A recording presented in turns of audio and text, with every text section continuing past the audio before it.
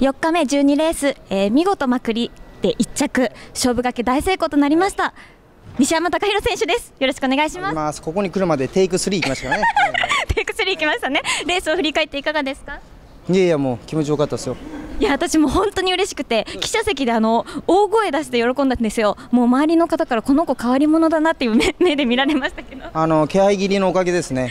そうあの先週あのちょうど対談をさせていただいてでリリポーターというかインタビュー来るなっておっしゃっていましたが、はい。来ちゃいました？もうだけど今日ですべての終わりました。明日ない。本当にあの西山選手のインタビューをしに私は来ましたので。よ下げま。よし。いや待って。あ待って。私揚げまんですよね。あいやいや下げまんです。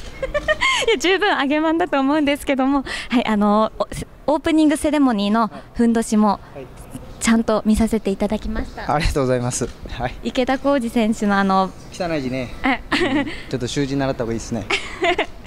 はい明日あの5号艇になりますけども。いやもうととりあえずあのトップスタート切ってはい、えー展開考えます。えー準優勝戦に向けてどのような作業を考えてますか？ではもう皆さんがね失敗してくれる調整失敗してくれることを願うだけです。はい。はいありがとうございます。では最後にファンの皆様に一言お願いします。下げまんです。